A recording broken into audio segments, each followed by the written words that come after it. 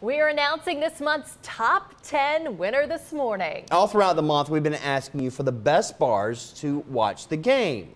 And the winner is the Mason Jar That's in such Hillsville. a fun name. It really is. Coming in at number two, Mr. P's Neighborhood Grill in Roanoke. And in third place, Shanny's Bar and Grill in Danville. You can see the list on our website, WSLS.com. Monday starts a new month and a new top 10. We want to know the best local place for a spectacular time. Since it is the month of Halloween coming up for us next month. Nominations start next week.